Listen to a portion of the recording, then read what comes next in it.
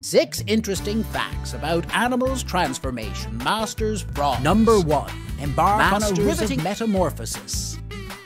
Frogs undergo an astonishing metamorphosis, transitioning from aquatic tadpoles to terrestrial adults, showcasing nature's intricate life cycle and adaptability. Number two, diverse species. Explore the immense diversity of frog species, ranging from vibrant poison dart frogs to camouflaged tree frogs, each adapted to specific environments worldwide.